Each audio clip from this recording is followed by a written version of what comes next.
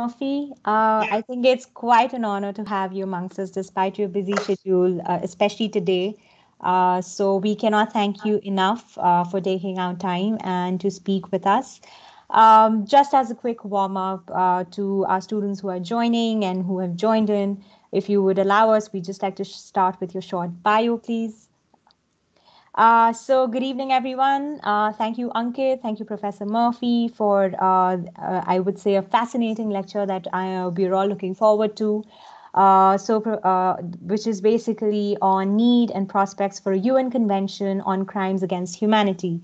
My name is Akriti Tripathi, and I'm assisting Dr. Popovsky, who is teaching us um, UN law and practice as well as international criminal law.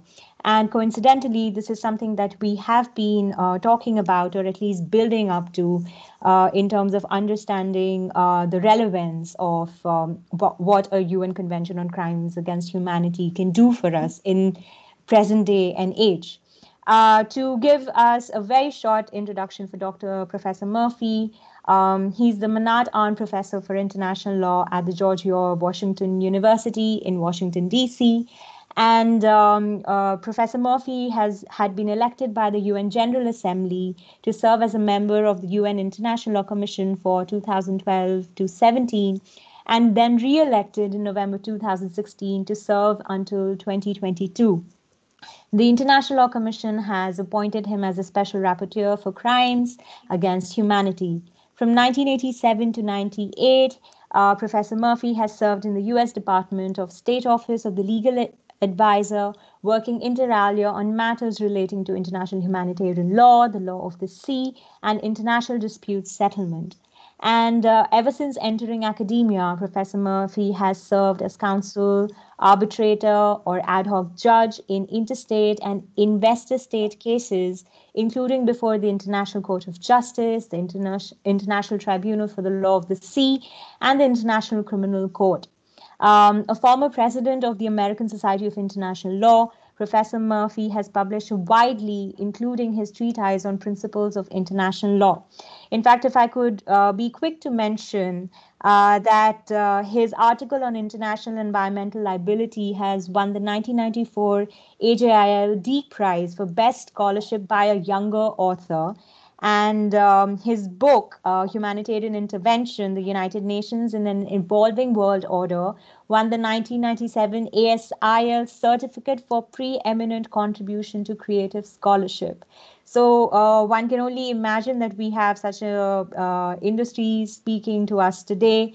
Uh, we're really looking forward, and thank you once again for taking out time to speak with us uh, today. Well, thank you very much, uh, Professor, for that wonderful uh, introduction. I wish I could bottle it up and hear it every day. It's much appreciated. Uh, and it's a great pleasure to be here uh, with you uh, at the Jindal Global Law School. Um, I'm honored to be invited. And uh, although we have to do it in a virtual environment, in, in many ways, this pandemic has opened up new opportunities for us to interact. And I think that's, that's a very good thing. Um, so I thought I would speak for about 30 to 35 minutes about this issue of a potential new convention on the prevention and punishment of crimes against humanity. And I'll do this in basically four parts. Um, I'll uh, start with a little bit on the historical emergence of the uh, concept of crimes against humanity. I imagine many uh, participating in this are familiar with the current situation, maybe, but a little less about the history. So I thought I would talk about that. Um, then talk a bit about the fact that we do have crimes against humanity occurring in various parts of the world today. And I know that Myanmar is of great concern to those in India and around the world. So I'll say a little bit about that. Um, third, uh, and this will go to the heart of the lecture, I'll talk about the need to combat crimes against humanity uh, fully by strengthening national laws and national jurisdiction, as well as creating a structure for interstate cooperation on matters such as extradition and mutual legal assistance. Uh, and then fourth, I will talk about the International Law Commission's project, which we recently uh, completed, and it's now moving forward to uh, governments for their consideration. And so I'll close a little bit in saying uh, my thoughts about the prospects for this to actually become a convention that would be fully adopted and implemented. So let me begin by uh, noting the emergence of the concept of crimes against humanity over the past century.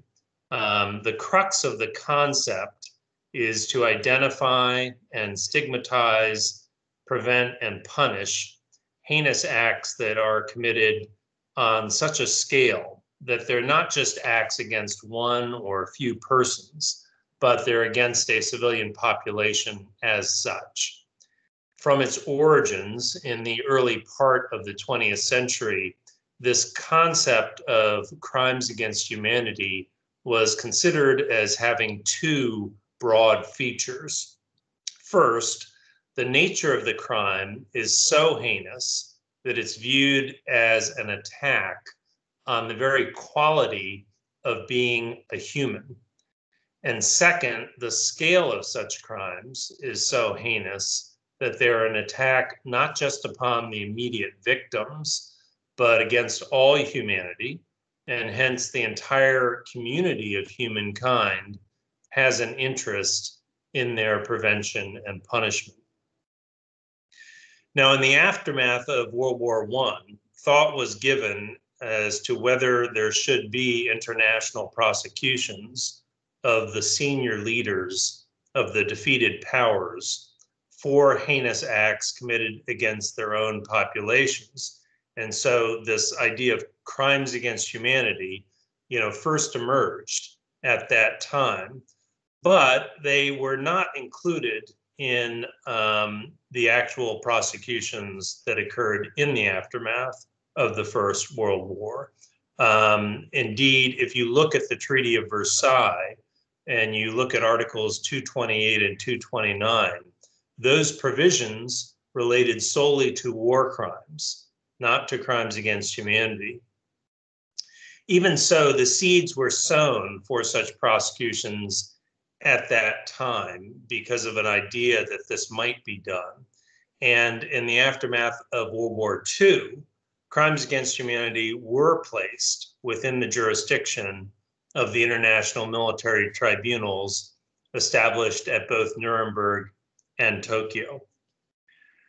The principles of international law recognized in the Nuremberg Charter were then affirmed in 1946 by the UN General Assembly, and they were codified by the UN International Law Commission in 1950.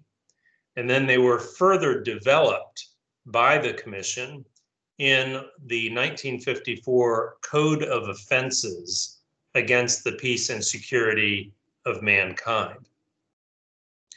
So those steps firmly entrenched crimes against humanity in the pantheon of crimes of greatest international concern, alongside genocide and war crimes. But while there were hopes in the 1950s for the establishment of a permanent international criminal court, as I'm sure you all know, those hopes were unfulfilled. They crashed into the shoals of the Cold War. And instead, the prosecutions of war crimes and crimes against humanity and genocide, if they were to occur in the 1950s, 60s, and 70s, occurred at the national level, left to national jurisdictions. In that regard, there was a modest and not particularly well known 1968 convention adopted, which called upon states to nationalize crimes against humanity and to set aside statutory limitations on the prosecutions of such crimes. And that convention ultimately attracted the adherence of 55 states. Yet many states did not adopt national laws on crimes against humanity, and only a very few moved forward with prosecutions when alleged offenders were identified.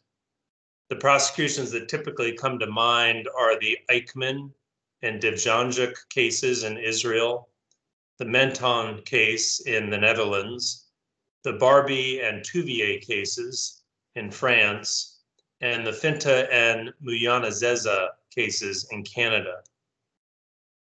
In some circumstances, the issue of crimes against humanity arose in the context of national proceedings other than prosecutions, such as in the context of immigration proceedings. Instead of focusing on national laws regarding such crimes, the end of the Cold War brought new hopes for the establishment of an international criminal court, which would have jurisdiction over crimes against humanity. And so, of course, in 1993, we have the UN Security Council establish the International Criminal Tribunal for the former Yugoslavia. And then in 1994, we have the council establish the International Criminal Tribunal for Rwanda, both of which did have within their jurisdiction crimes against humanity.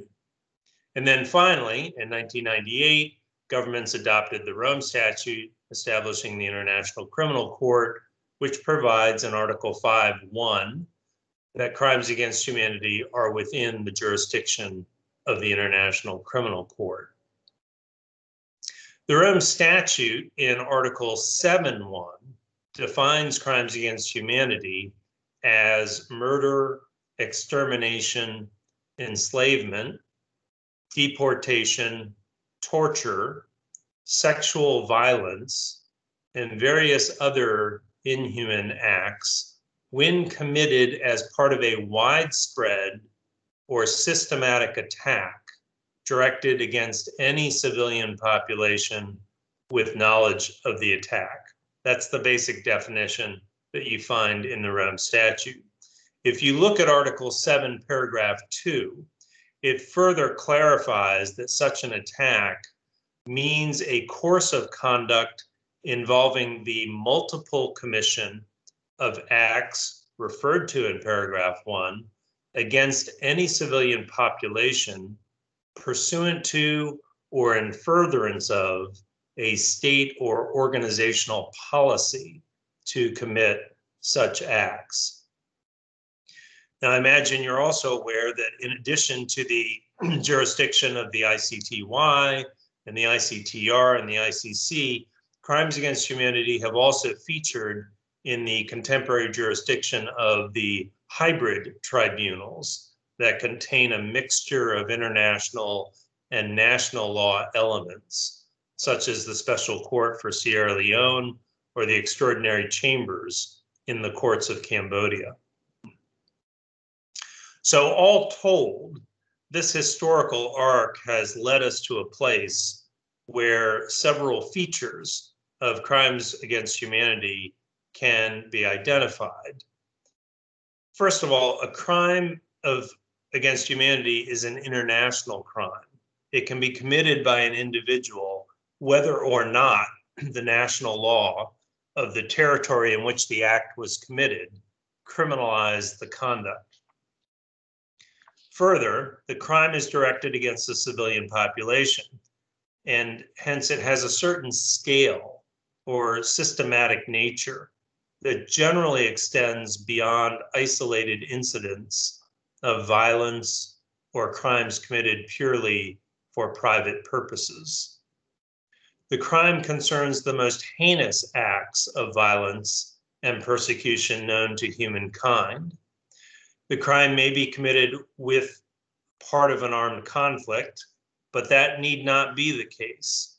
Crimes against humanity can occur in peacetime and the crime can be committed within the territory of a single state, or it can be committed across borders. And finally, the crime can be committed by a government, but it can also be committed by other actors, including rebel movements, militias, or terrorist organizations. Let me turn to the second part of my lecture, which is to talk a little bit about the Commission of Crimes Against Humanity in the world today. The development of that concept of crimes against humanity was an important intellectual achievement of the past century. And the development of international courts and tribunals, I would submit, has been an important institutional development. But sadly, the case is it's the case that crimes against humanity continue to be uh, occurring today on a daily basis in various parts of the globe. I think with this audience, I don't need to run through all the places where those crimes are occurring because unfortunately you can read about them in the daily newspaper or online. But let's just touch on at least a few of them. Um, Sudan comes to mind. Um, at the outset of this century, the atrocities in Sudan were very much front page news, perhaps less so today. But you had about 200,000 civilians die over the past two decades in Sudan. Those atrocities were to a certain extent displaced by atrocities occurring in Syria, which have occurred since about 2011.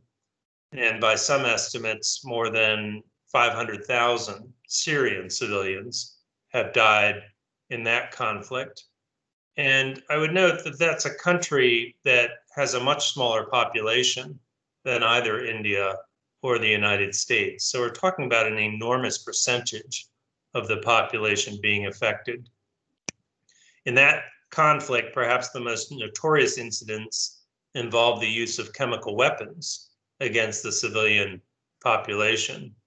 But the widespread attacks on civilians by various means is such that it's likely to take generations for that country to recover.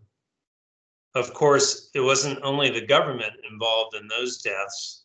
We also had non state actors, including most notably the Islamic State, also known as ISIS, ISIL, or Daesh, that also inflicted terrible harm upon civilians in both Syria and Iraq, including attacks on religious groups journalists, and others. But in most recent years, I think the front page stories have been about the Rohingya people in Myanmar who have been exposed to brutal violence by the Myanmar military and paramilitary units, being forced to flee from their homes to the point of leaving the country entirely, particularly as the countries of Bangladesh in India well know. And I suppose I'll finish by also noting the horrible situation in North Korea, where more than 100,000 people are held in camps, subjected to deliberate starvation, executions, torture, rape, infanticide, and forced labor.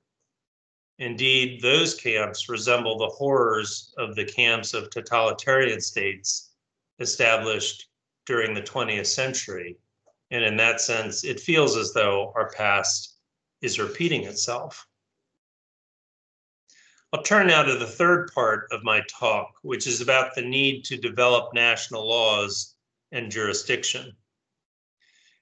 Given the continued commission of crimes against humanity today on such a horrific scale, it's fair to ask the question what more might be done to help prevent and punish them.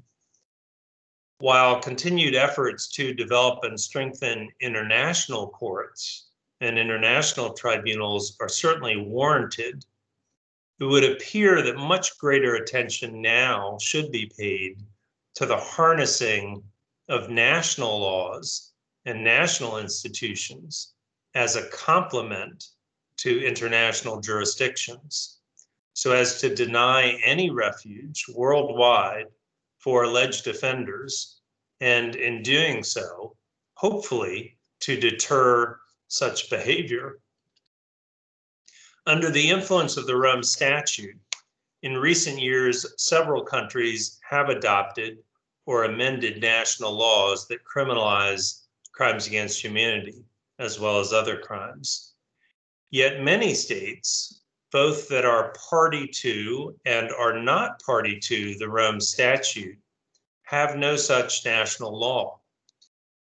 For example, my country, the United States, is not a party to the Rome Statute, and we have no national law on crimes against humanity as such. We do in the United States have criminal statutes on torture, on war crimes, and on genocide. But these statutes do not criminalize all conduct that might amount to crimes against humanity. And some of the constituent acts of crimes against humanity, as defined in certain international texts, are not found in US national law. Various studies have attempted to analyze the existence of national laws worldwide on crimes against humanity, as well as the scope of existing laws, both in terms of substantive crimes and the circumstances where jurisdiction may be exercised over those crimes. Important elements to consider when assessing such laws are first, whether there exists a specific law on crimes against humanity, as opposed to ordinary criminal statutes on penalizing acts of violence or persecution. Secondly, if a specific law does exist on crimes against humanity, whether that law includes all the components encompassed in the most contemporary definition of the crime, which would be Article 7 of the Rome Statute.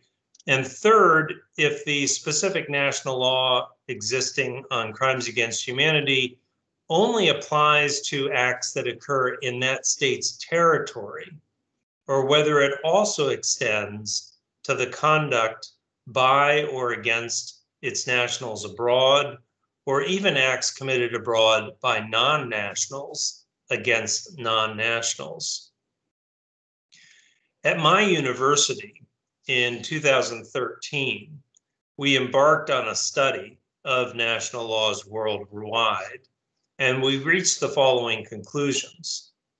First, we found that at best, 54% of UN member states, meaning 104 countries out of 193, have some form of national law relating to crimes against humanity.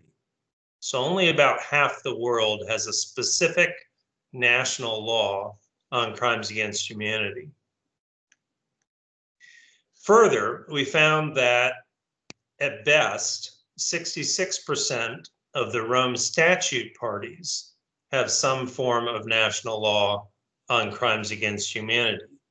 In other words, simply by virtue of becoming a party to the Rome Statute, it has not resulted in 100% of the Rome Statute parties adopting national laws on crimes against humanity. The study at my law school also looked qualitatively at the statutes that did exist on crimes against humanity. And we reached certain conclusions about that as well. 12 of the states that had statutes um, were thought by earlier studies to have um, no, um, excuse me, the study found that only about 41% of the states actually possessed a law that was specific to crimes against humanity. In other words, the statute often said crimes against humanity, but within the statute, it was referring to war crimes. So even though there was a statute called Crimes Against Humanity, it wasn't actually dealing with those crimes. Further, um, we found that of these statutes that purportedly address crimes against humanity, um, only about one third of them were using the text that appears in Article 7 of the Rome Statute. Many of the crimes against humanity statutes have been adopted in the 1960s, 1970s. They were relatively old versions of what we now regard as crimes against humanity. And then a final finding was even if you had a statute on crimes against humanity that was a robust statute covering all the elements of our contemporary definition, um, most countries only would apply that statute to crimes committed within their own territory or by their own nationals. Consequently, they were not in a position to prosecute under their national law an individual who had committed the crime somewhere else and harmed people that were not that country's nationals. Which means that at the end of the day, you have a relatively limited number of places in the world where individuals can be prosecuted for crimes against humanity unless they committed those crimes in that country's territory.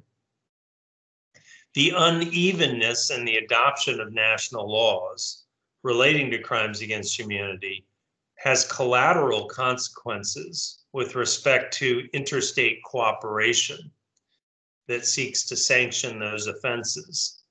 Existing bilateral and multilateral agreements on mutual legal assistance and on extradition typically require that the offense at issue be criminalized in the jurisdiction of both states, a concept that is sometimes referred to as double or dual criminality. In other words, if one state has a statute on crimes against humanity, but the other state doesn't, it is very difficult to move forward with an extradition or cooperation on mutual legal assistance. Furthermore, there's a lot of discrepancies among states that have statutes on crimes against humanity that also impedes that cooperation. The two statutes may not line up sufficiently to allow the cooperation to move forward.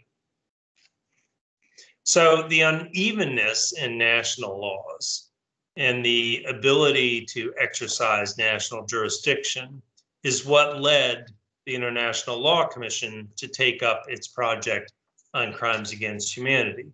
And I turn to this now as my fourth and final part of the lecture.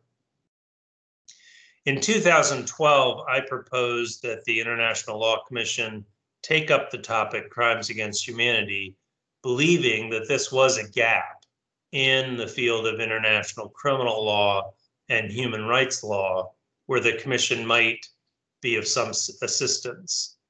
And after extensive discussions, the Commission in 2013 added the topic to its long term work program, and then in 2014 added it to the active agenda. In the course of doing so, the Commission appointed me as special rapporteur.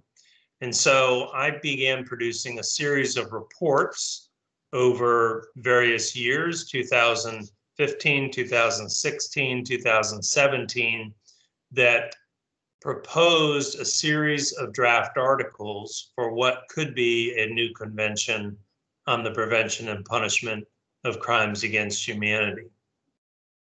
Ultimately, in 2019, the Commission completed the project consisting of a series of draft articles, 15 in total, and an annex, along with a preamble, which we packaged together with commentary and sent to the UN General Assembly with the recommendation that the Assembly proceed with either a diplomatic conference or with a negotiation within the United Nations itself for the purpose of adopting a convention on the prevention and punishment of crimes against humanity.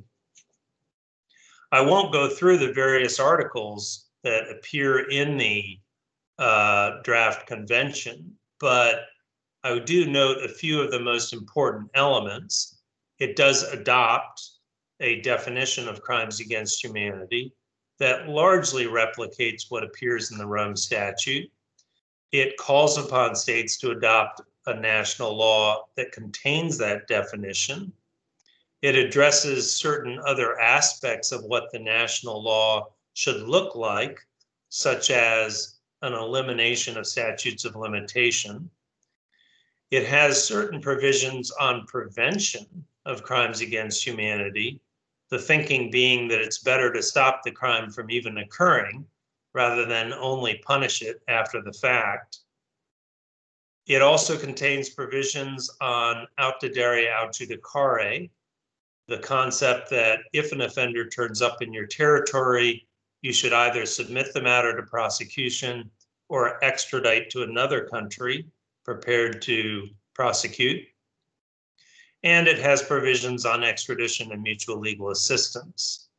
In the event that there's a dispute between states about the interpretation or application of the convention, it provides for settlement of disputes at the International Court of Justice.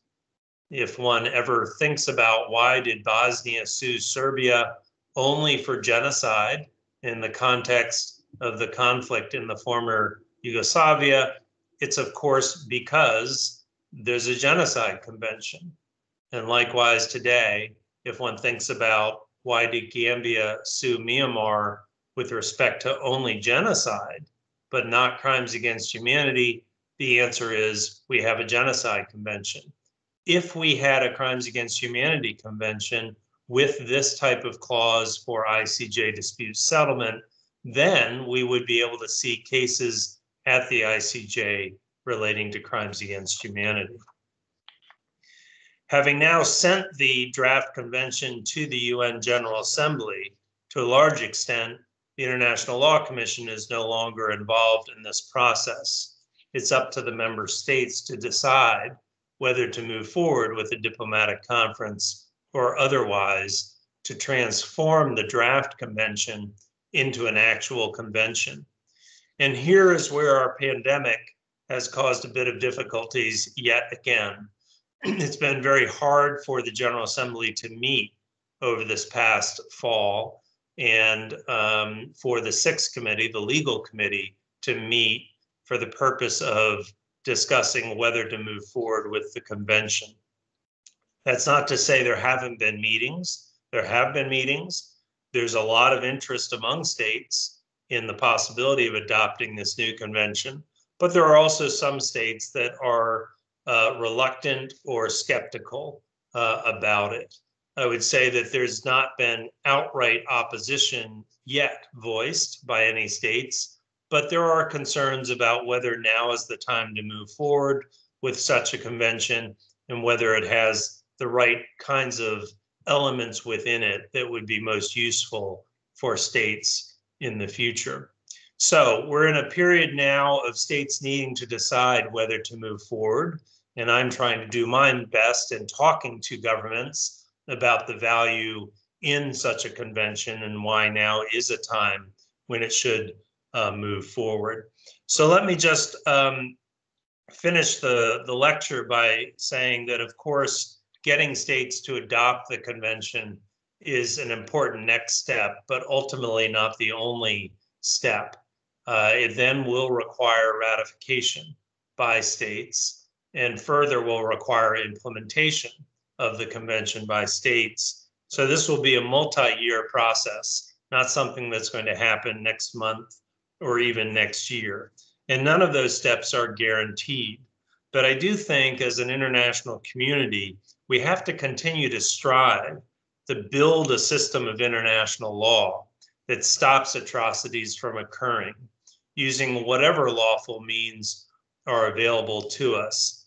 And I say this not just to experienced lawyers who I happen to, to meet, but I also say it often to students as well, because the ultimate success of this initiative will turn in large part on the commitment and hard work of the next generation of international lawyers.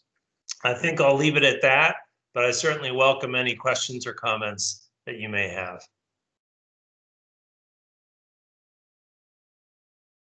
Uh, thank you so uh, much, you Professor, much, uh, Professor Murphy. That was a very enlightening conversation. Uh, we have Megha uh, inaugurating the round of questions. Uh, please go ahead.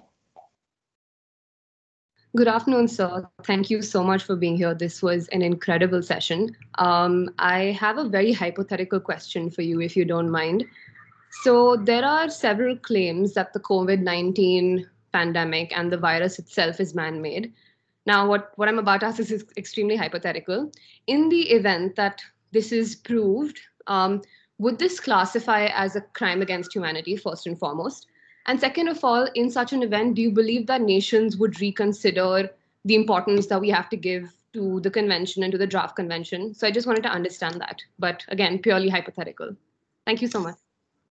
Well, thank you for the question. It's a very interesting one. And I suppose if we're running with the hypothetical, the idea would be that it was intentionally created uh, by either a government or a non state actor for the purpose of being unleashed on a civilian population um, as part of a sort of widespread attack against them. Um, the only part of the element of crimes against humanity that I would pause on is uh, the effects of COVID 19. It does cause death, and death is certainly one of the elements of crimes against humanity. Um, and so I think probably you would satisfy that that element. I was pausing just because obviously it doesn't necessarily cause death. It uh, it uh, can make you sick, but you can recover from it. Um, it seems to me it should be uh, sufficient to qualify it as a crime against humanity. So I guess my answer to the hypothetical is yes.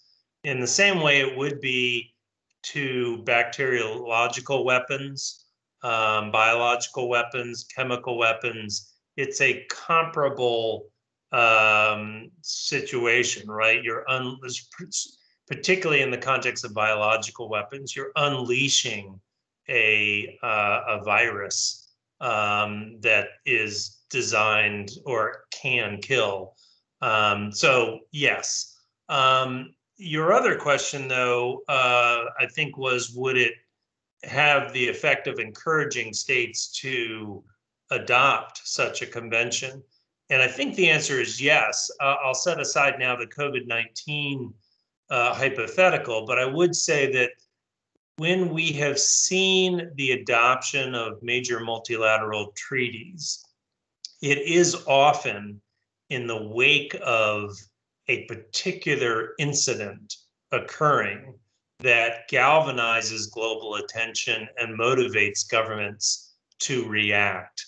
So, of course, the 1948 Genocide Convention is because of what happened during the period of the Holocaust during the Second World War um, or the adoption of the uh, conventions on early notification of nuclear accidents, that occurred right after Chernobyl uh, happened too. So those sorts of things will generate um, the movement towards treaty making, and therefore, you know, were something like your hypothetical to occur, or were you know, some other types of genocide, uh, sorry, crimes against humanity uh, appear um, on even a wider scale. Uh, yes, I, I hope that doesn't have to happen for us to get to this place. Of course, I, I feel like we're living in a world where these crimes are already so prevalent that it, it should be readily apparent that the the convention is needed. But um,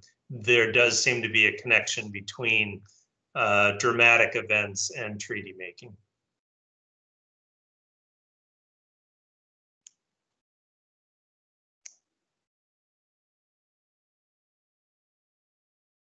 Ankit? Um... Yeah, um, well, thank you for your talk. So I have, uh, just to sort of sum up what you said, I think it, again, is just to, just to echo that, it says that you need to have a, you, international law generally has this reactive approach, which is to say that you sort of wait for the moment and then you establish this international mechanism, which which essentially says that it must not be repeated. But uh, that's one point, uh, sort of a comment. And again, another one is uh, the with regards to the International Law Commission. In fact, we've got uh, Nilüfer Oral, who's a member of the commission, who will be speaking on exactly this as as to how the commission is going to work as a catalyst for development and uh, uh, will is acting as this medium to bring about a change and act as act as the legislative arm of the United Nations. Although that does go beyond the mandate as to what it is attached with. Uh, besides that, I would also really like to read this report which you were uh, discussing. So if you could share that with with us, then that will be very, very helpful because then that will give some sort of a perspective as to how the Rome Statute is uh, is is perceived. I think, and uh, since India is again it's not a member of the Rome Statute, then it, it does offer some sort of an understanding of the nuances as to the uh, statute, and uh, that's that. I just had these comments which I want to make, and thank you for your talk. So uh, back to you. Well, thank you, Ankit, for those uh, those remarks. Um, yes, it's interesting to think about the role of the International Law Commission as a catalyst uh, for action. Um, we tend to view ourselves as the legal think tank for the United Nations. So we're a bit of an incubator where ideas can be generated and studied over the course of many years and then produce a final product that we provide to governments in the hopes that it allows them to move forward in some fashion. Some of our projects um, don't become treaties, they just become uh, instruments that are well thought of and, and studied. Uh, I'm sure you're familiar with the 2001 articles on state responsibility, and, and there are many other products like that that that simply sit there and are what they are. Um, by contrast, occasionally we do do projects such as the Crimes Against Humanity project, which is intended to be a treaty. Um, and if it doesn't become a treaty, it will not be effective. Many countries, for example, will not extradite a person in the absence of an extradition treaty.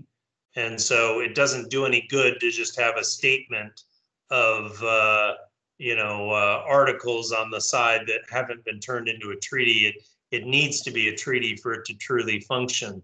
And that's the case for the Crimes Against Humanity project.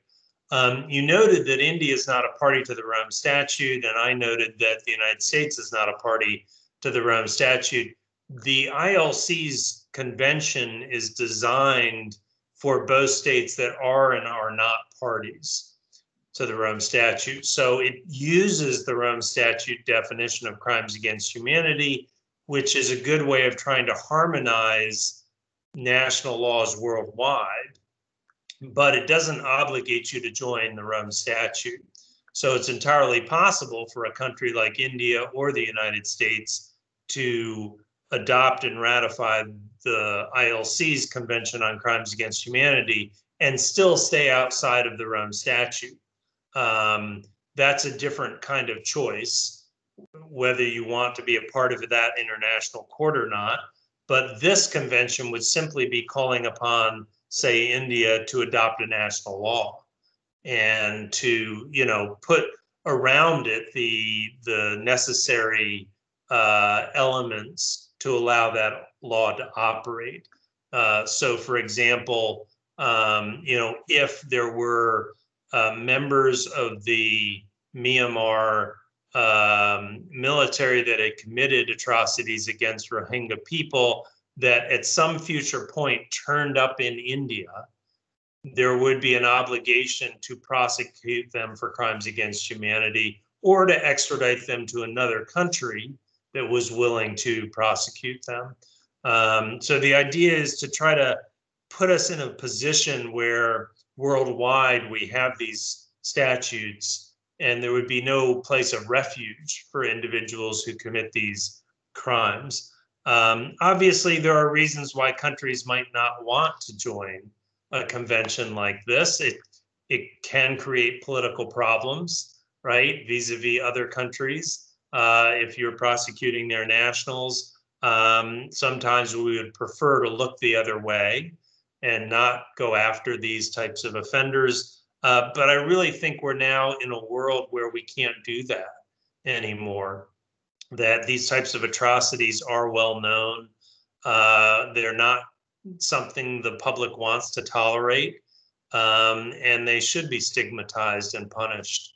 Uh, so my hope is that over time, all countries will see their way towards adopting these national laws and coming into an, uh, a convention relationship like this so that we can move forward with interstate cooperation. just, to follow up that, I mean, uh, I see this linear tra- uh, trajectory uh, in relation to the draft articles on uh, state responsibilities and how impactful they are in terms of the current status quo that they are in. So, would you see that same level of uh, reverence if if this does not become a convention? Well, I think that the um, there's a lot of value in the uh, articles produced by the ILC on crimes against humanity, even before they become a convention.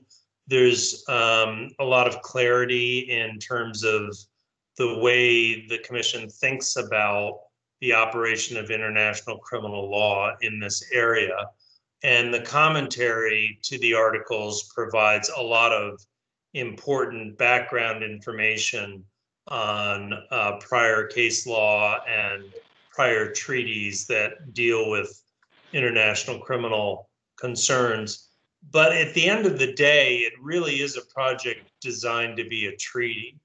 Uh, it's not designed to codify customary international law.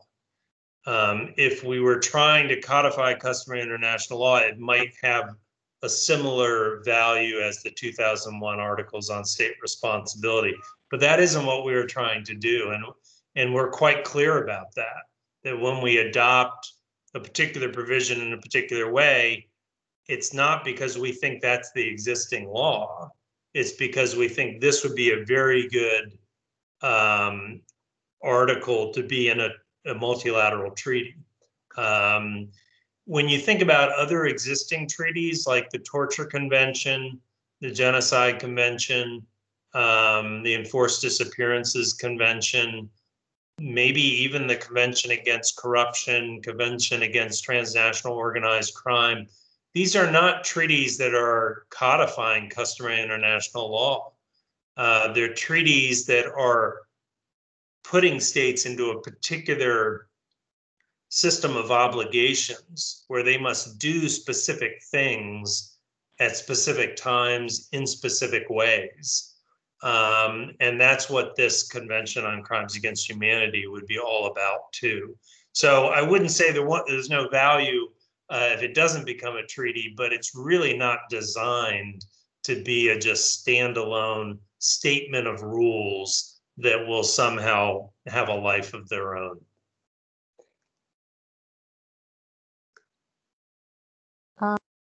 Murphy, if I could just uh, put out this observation to further the discussion, I couldn't help but notice that uh, Article 7 of the Rome Statute, uh, in Clause 3, says that for the purpose of the statute, it is understood that the term gender refers to the two sexes, male and female, within the context of society.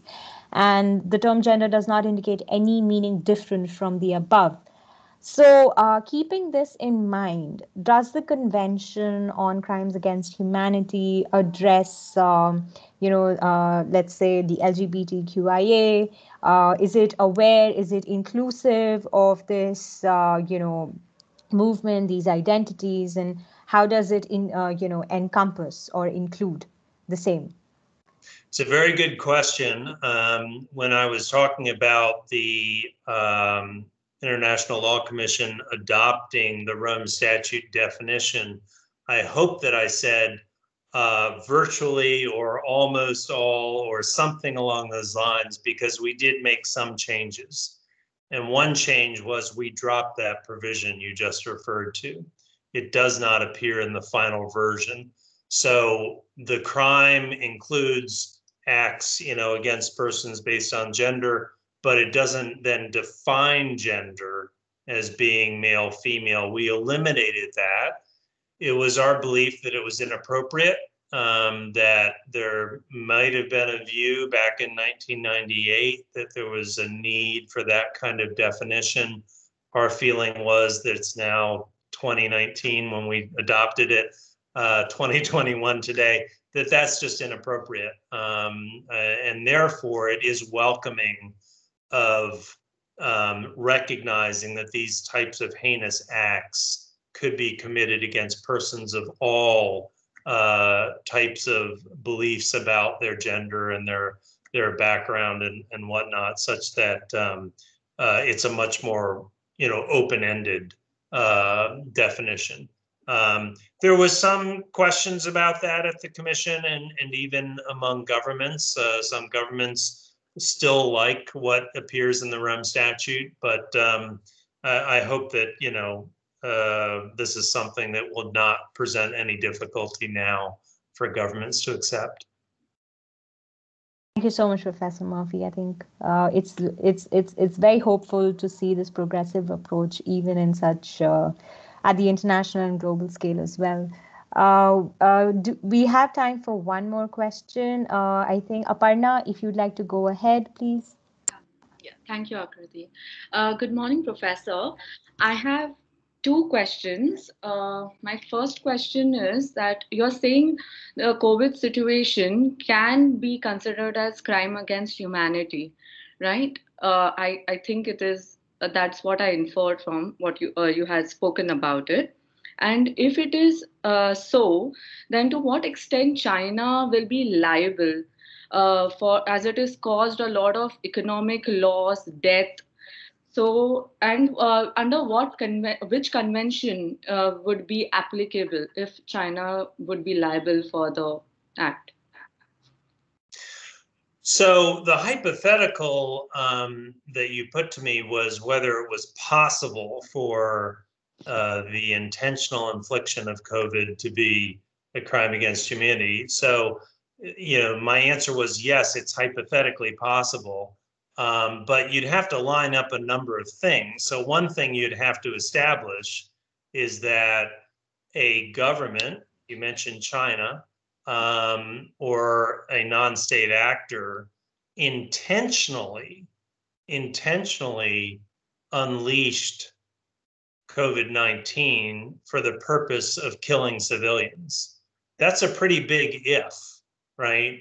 that you would have to prove. So the mere fact that there was a release of a virus from, say, a laboratory that was either man made or had jumped from, say, you know, primates or something. Um, the mere fact that there's a release of the virus does not demonstrate an intentional attack on a civilian population. So you'd have to check off a, a, few boxes there before you get to the point of being able to say a crime has been committed. Assuming that you could get there to demonstrate a crime, we're not talking about liability, at least not in the context I'm talking about. We're talking about criminal action, which means particular individuals could be prosecuted for the crime. So you would then have to ask yourself who exactly had the intent to attack the civilian population. Was it the director of the laboratory? Was it somebody above that director? You know, how high up in the government or in the non state actor hierarchy does this go? Right. And wherever it might take you, we're talking about prosecuting individuals, mm. not talking about holding anyone responsible for compensation, for example. And that seemed to be the drift of your your question. If we were to set my project aside, right, and ignore the criminal side of this, then you could still be asking questions about responsibility. Yeah. And those questions don't necessarily turn on anything to do with intent or anything to do with crimes against humanity, right? So you can set up your hypothetical differently and say, forget about Murphy's crimes against humanity. I just want to know if a government actually was the entity that was um, that created this virus and that released the virus into the environment, maybe even unintentionally right? Maybe no intention at all. They're just playing around with a virus in a laboratory and it gets released. Well, you can talk about that in the context of international law and state responsibility um, for just damage right, that causes damage to another country, the, transboundary damage. It's sort of like international environmental law. When we talk about a, uh, a coal smelter uh, with fumes crossing the border or something to that effect, uh, those are situations where it may well be that a country can be found responsible for an internationally wrongful act and that that would lead to compensation. Obviously, it's hugely complicated in the COVID context. I think there are a lot of ifs in these hypotheticals, whether it's criminal or it's civil, uh, that I'm certainly not persuaded have been established.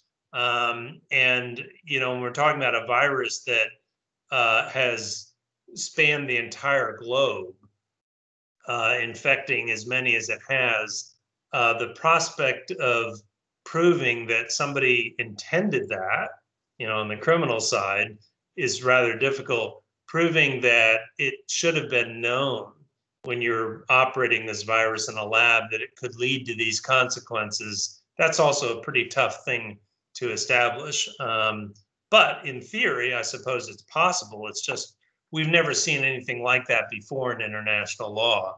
So it seems like a difficult uh, path to go down. Thank you, Professor. I have another hypothetical question, if I may pose. Um, I, uh, there are many conventions which uh, which deal uh, with uh, degrade inhuman treatment uh, and many uh, like war uh, conventions like on torture, genocide, as you had rightly pointed out. So if uh, now if there is a convention, uh, you know the the draft of the convention on uh, on crime against humanity has been approved, and if um, uh, we may say that uh, uh, now Rohingya matter is under the uh, Convention of uh, Genocide, right? So, uh, if the Convention of Crime Against Humanity also has, is introduced, then under which convention Rohingya matter Rohingya case would be applicable? So it would be possible, I think, to pursue um, the issue of the treatment of the Rohingya under both the Genocide Convention and the Crimes Against Humanity Convention. Uh, there's no, and possibly the Torture Convention and and maybe others too. The, there's no ex- exclusivity here, right? In the same way that when you prosecute someone in a national court, you may charge them with several different types of crimes. Um, there's no reason why that can't be true in terms of these international treaties as well. I would note, however, that one of the huge benefits of a Crimes Against Humanity Convention is that it's very difficult to prove genocide.